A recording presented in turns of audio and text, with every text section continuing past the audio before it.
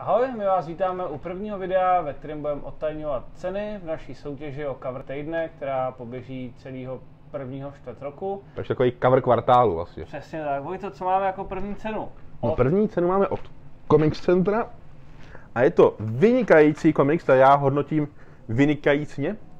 Je to James Bond Varger, první díl série, která má momentálně venku už pokud se nepletu nějaký čtyři bůky hlavní eh, řady. Momentálně vyšel dokonce v lednu první bu- sešit pátého bůku, který píše Aleš Kot a který by teoreticky u nás měl taky víc v češtině. Takže tohle je to správně začít a za mě osobně výborná volba. Píše Warren Ellis, kreslí John Masters, parádní věc. A pokud se nepletu, tak Comic Centrum má naplánovaný další dva, dvě knihy na tenhle rok? Minimálně. Minimálně. No a to není všechno, co tady máme.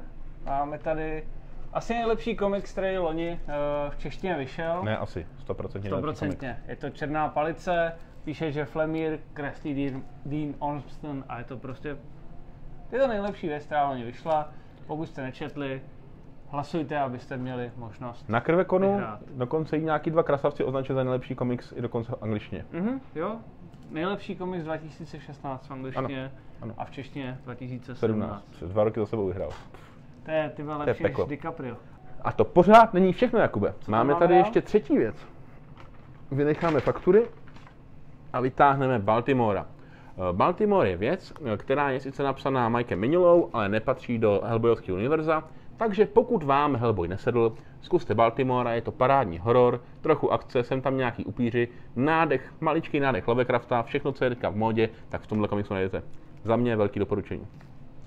No a to samozřejmě není všechno, my budeme postupem času otajňovat další ceny, které nám naši sponzoři, eh, no, kterýma nám naši sponzoři přispěli do soutěže.